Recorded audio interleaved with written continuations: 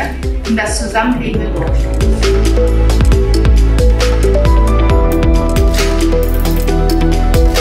Mit diesen Objekten soll ein sogenanntes digitales Schaulager entstehen. Schaulager, das sind für Museen wie so ein Lagerhaus, aber äh, viel, viel schöner, weil es geht ja um ganz wertvolle Dinge.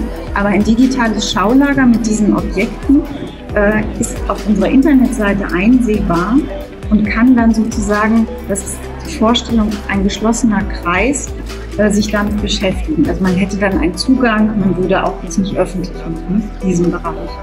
Ähm, da sollen die Objekte langfristig hin, dieses digitale Schaulager. Tabu und ein Spiegel. Ähm, erstmal möchte ich halt darüber erzählen, dass meine Mutter selber aus Russland kommt und mein Vater aus Armenien. Der Spiegel soll das Aussehen symbolisieren. In Armenien ist es Genauso wollen wir natürlich bewahren, was ihr denkt.